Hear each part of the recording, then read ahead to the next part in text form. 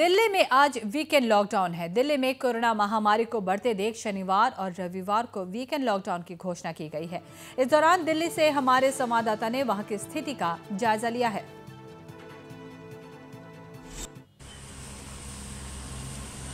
जी हाँ हम इस समय मौजूद हैं। साउथ दिल्ली के एक आ, काफ़ी व्यस्त अंचल जो साउथ एक्सटेंशन है साउथ एक्सटेंशन में और साउथ एक्सटेंशन में आप मेरे पीछे देख सकते हैं कि पूरी जो सड़कें हैं वो आ, उसमें एक दो के अलावा गाड़ी आपको दिखाई नहीं देगी, जो कि बहुत ही व्यस्त रहता है, जो रोड काफ़ी व्यस्त रहता है, उस रोड में ज़्यादा आपको भीड़ भाड़ नहीं दिखाई पड़ेगी। और मैं नॉर्थ ईस्ट लाइफ के दर्शकों को बताना चाहता हूँ कि जो वीकेंड कर्फ्यू दिया गया है, वो सफल करने प्रशासन और दिल्ली पुलिस ने अपने जो फोर्सेस है, पूरी तरह से तैनात कर दिया है और दिल्ली में पिछले 24 घंटे में जो कोरोना संक्रमण के केसेस आए हैं, वो काफ़ी डराने वाले हैं। उन्नीस हज़ार से ज़्यादा केसेस आए हैं पिछले 24 घंटों में। तो इन सब चीज़ों को देख के ये जो वीकेंड लॉकडाउन है, इसको सफल कराने के लिए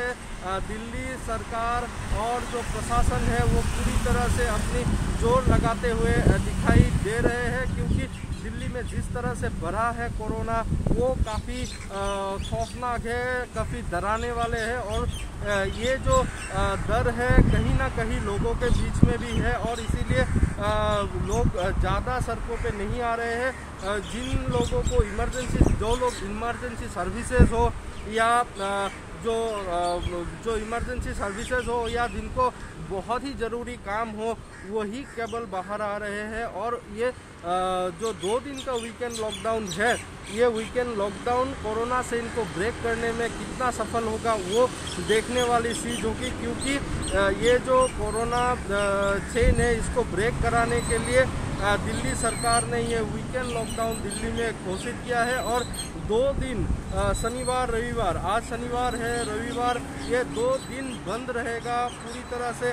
लोगों की आवाजाही बंद बंद करने की कोशिश की जा रही है और खाली जो इमरजेंसी सर्विसेज़ है, उनको परमिट किया गया है, परमिशन दिया गया है कि वो बाहर आ सके और राशन के दुकान वो बंद नहीं किए गए हैं, दूध के दुकान बंद नहीं किए गए हैं और इसी तरह से जो एसेंशियल कमोडिटीज़ की दुकान है वो खुले हुए हैं और उसके अलावा जिम हो शॉपिंग मॉल हो, स्विमिंग पूल हो, सब कुछ बंद कर दिया गया है। और इस तरह से दिल्ली में जो भयानक आंकड़े दिख रहे हैं कोरोना की, उसको ब्रेक करने के लिए, उसको कम करने के लिए दिल्ली सरकार ये वीकेंड लॉकडाउन के वीकेंड लॉकडाउन का सहारा ले रही है। और देखा जाएगा कि ये वीकेंड लॉकडाउन कितनी सफल होती है और इससे कोरोना से